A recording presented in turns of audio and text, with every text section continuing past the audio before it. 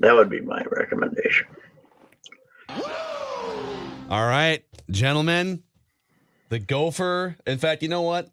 Oh, I don't have it on here. I was going to fire the rouser, and there's 42 buttons in here. So you guys are spared from the rouser. But the Gophers are back in the national championship game against vaunted Quinnipiac.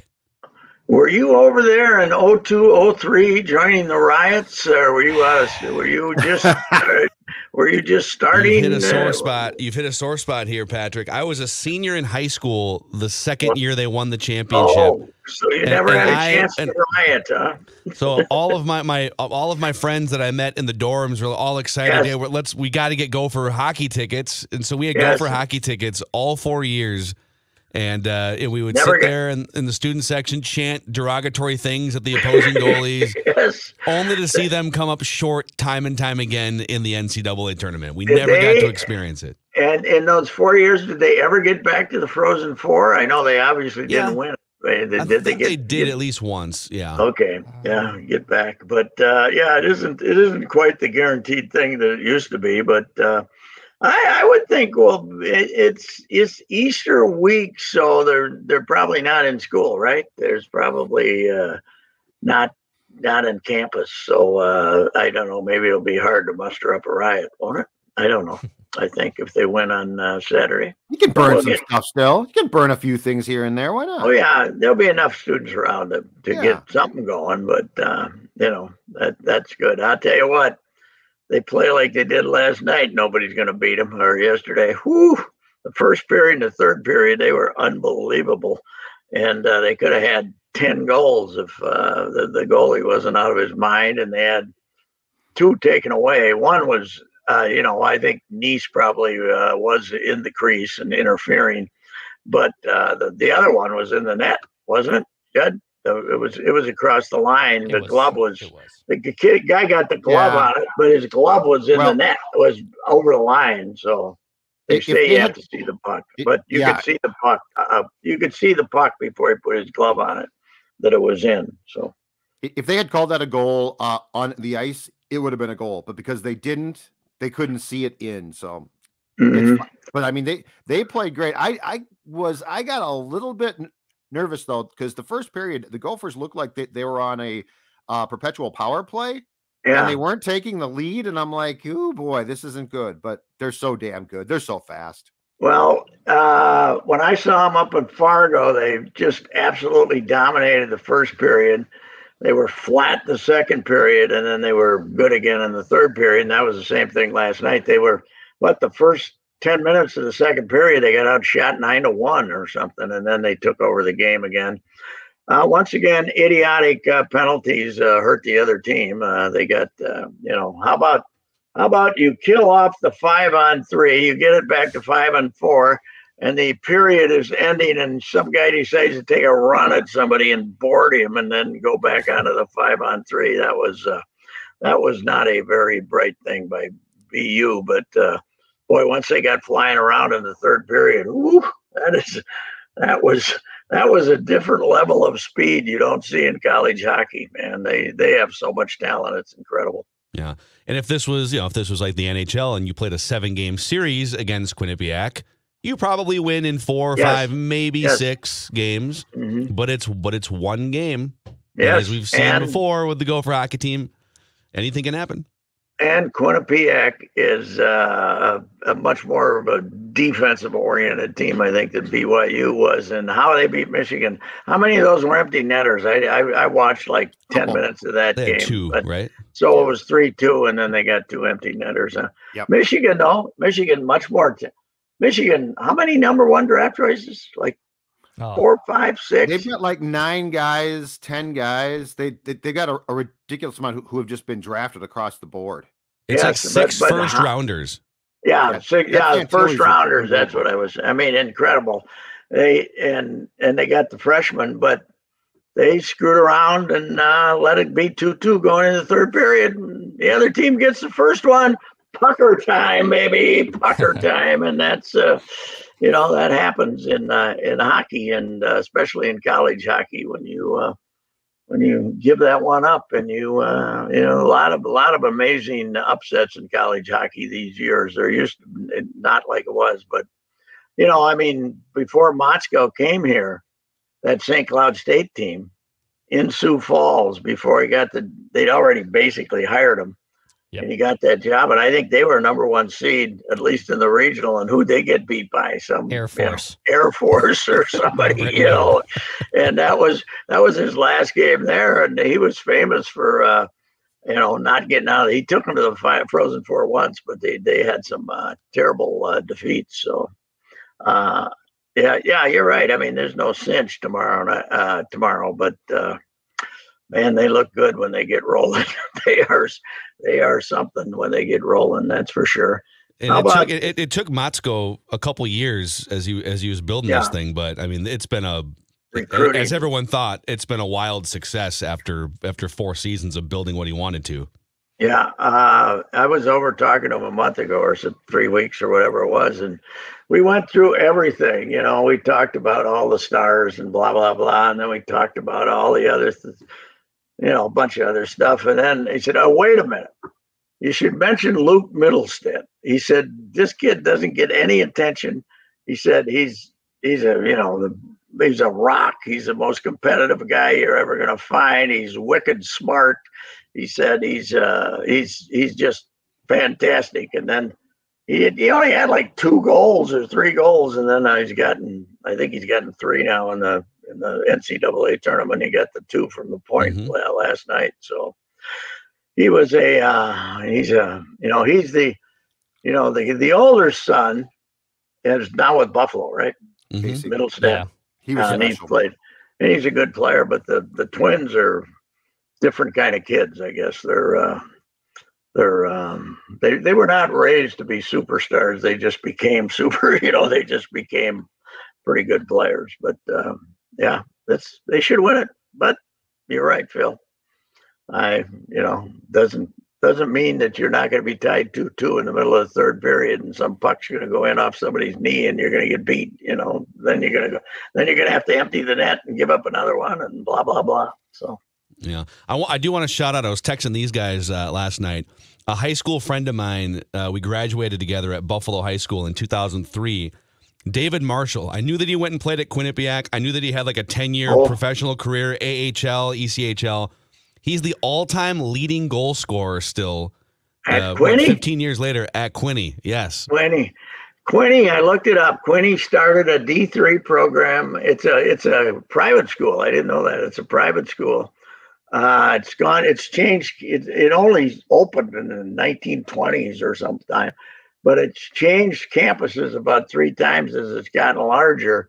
Hmm. But they didn't become D1 until 98, 98, 97 or 8. And, uh, and, and they formed, they were part of forming that Metro Atlantic League as kind of the weaklings of Eastern Hockey League. That's what Holy Cross, that's where Holy Cross is from too, right? Isn't it? And uh, some of these, you know, these second Merrimack and schools like that that were wanting to be D1, they basically formed their own league of these nothing programs, and now they're they've been pretty good for quite a while here. So, I you know, but I never I didn't know it was Connecticut. I thought it was a Massachusetts college. It's a Connecticut college. It's right next to New Haven, right next to Yale, down the street from Yale, basically. Yeah, so let's get let's be safe. Let's be safe on Saturday night. Yes. Okay, no, no, don't light any cars on fire. I got my matches. Are we going to grease, grease the poles in Dinky Town, or are we going to just kind of let it ride? I, I imagine they'll be driving around in the late afternoon there, the cops, just to see how many people are mingling. That would be my guess. What what bars do we have on campus that we mingle in? Do we do we what what are the bars? Well, there's the campus? there's the there's the new Sally. It depends on what part of campus. Like if you want to yeah. go, you know, to yeah. the Stadium Village area, you, you got the new yeah. Sally's. Uh, but, we uh, still have whatever the whatever the, Dinky, the library is called now, the College Club or something. Yeah. Dinky Town doesn't have saloons though, does it? I mean, they don't have many saloons. What one, basic, you know, over there? Sort of saloon. Yeah, yeah, but the uh, you got Stub and Herbs and over there, but you know, I'll tell you what, go, go, over go over to Como, go down about seven or eight blocks. Go if you mm-hmm. if you mm-hmm. really yes. want like a like a dive saloon, go to Sporty's. Well, or okay. go to Manning's right across Manning's. the street. Yeah. They've Yes, changed Manning. Sporty's name. It's now um it's a different name. It's like under the same ownership. It's like the same vibe, but they changed it. But those N Mannings are awesome. Como Tap, that's what it's called. The now. Como tap. Como there Oh, you go. Okay. Well, Don't, let's don't burn it down, please. Just Yeah, go and enjoy don't. a Yeah, beverage you guys are and giving celebrate. Yeah. All types of terrible ideas for what people would What do. time they kicking off? They're not playing till like seven thirty or something, Yeah. too, right? Yeah, that's why so late. Come on, let's get her. Let's get her over with. Some of us have to get in, get in Yeah, bed by nine. yeah, nine yeah, that's right. That's right. Television purposes, I am sure for ESPN. hey, I'm sad to report we had a uh, three-hour baseball game yesterday. The uh, Bravos and the uh, Padres nine inning games, 318. Shut it down. Shut it down. Three, uh, some runs were scored, but uh, there must have been some long at bats or something. Three eighteen. Some, eighteen. probably Most of some the under, reviews, some reviews, some pitching Yeah. changes. Like it takes a lot to get to 318 now. Oh, yeah, it really does. They scored some runs in the game. It was seven to five or something like that. But uh, yeah, they, uh, they we got the, the the streak has been uh, broken. Everything else was 230, 232, something like that. So Yeah. today, what time are we? To, if we're if we're gonna kick off at three, it takes a little longer opening day. So the three o'clock, the first pitch will be what three thirteen, something like that. They'll have Yeah. a next, you know, three thirteen, something like that. What do you think? It's also Well, a know. sad day because it's the first time in 40 years we will be without the Duke, Dick Bremer, Yes, for the home Duke- opener. He tested Duke's got positive for COVID. COVID. He's Yeah. been dodging COVID for three years, and Cory Provus will take How you- over the TV How do you test? How do you test positive for COVID? What do, what do you even get tested for? Right? You just uh, Well, you can. know, I mean, there are you do tests available if you Yeah, if you you'd like to test swab. yourself. Yeah. Yeah, I know, but I mean, if I got the if I if I got symptoms now, I just assume I got the flu, right? But yeah, I mean, I, I don't. Or bad cold. I Yeah. Yeah, yeah. I don't know what. Don't If you're if you're know. if you're a bit of an overachiever, you could go buy a test and just kind of confirm. Oh yeah, we had them here for a while. We had them here for a while. We don't we don't have them now, but uh, that's too bad. I'm sure the Duke will miss it. Was he going to be do? Nah, he wouldn't be. Uh, he wouldn't be announcing the guys as they line up and do all that nonsense. No. Anyway.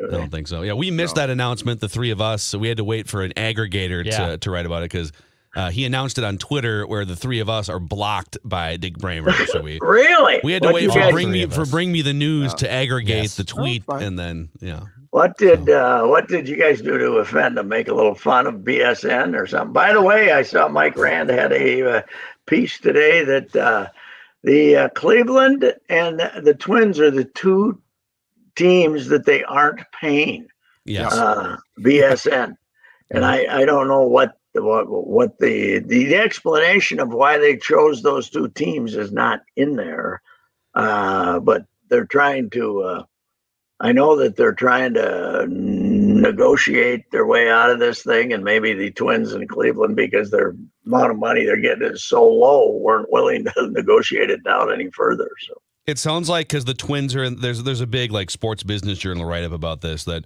because the Twins are in the final year, so so Diamond Sports would like to keep some of these intact and move forward, but because the Okay. Twins are at the end of their agreement, they can just like yeah, say goodbye. so, I guess. So they're trying to muscle. If you want your money, you're going to have to sign an extension with us. Is that basically what they're smooth what- out the what- smooth out the cap hit. is Yeah, yeah. no, yeah. no. I think baseball. I, I think baseball wants the Twins and Guardians out of, of those contracts because I think they they want to They're step so in and produce the, and produce the games.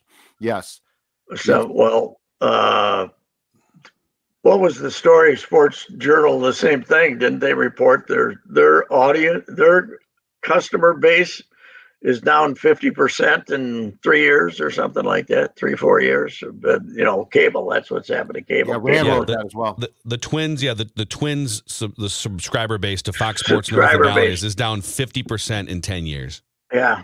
Ten, oh, 10 years. Okay, it's that long a period. But it's okay. been an, it's been expedited the last four Sure. or five years. Oh yeah. Well, when they lose, when they lose seventy-seven-year-old guys like me with no technology, not, technological skills, they've basically lost their core audience, haven't they? Yes. So, uh, anyway, hey, it, uh, it's only gonna be fifty today, though. It's not. Oh. Uh, it's not. Yeah. It's not. It's not balmy, but it's better than it would have been yesterday. And Yeah. uh, uh, you know, That's not gonna Houston. be warm. I don't care. By the way, if you look at this Houston lineup, you're not playing the world champions here. You're not playing the World Series champions. This is the bottom of that order has got a lot of a lot of strangers on it, and they've you know they're yeah, missing Altuve. Uh, they're missing. Uh, did Alvarez come back? Did Alvarez? Did the? Uh, I'm not sure if he came back. Yeah, but they've had a, they've had a. I I looked at their box score a couple days in a row, and they're, the bottom of it isn't that uh, great, and uh, their bullpen is. uh, been a little little shakier. Uh, Ryan Pressly blew the opener, I think he blew the opener, and then uh, a couple of their other relievers have not been as great, so they're not.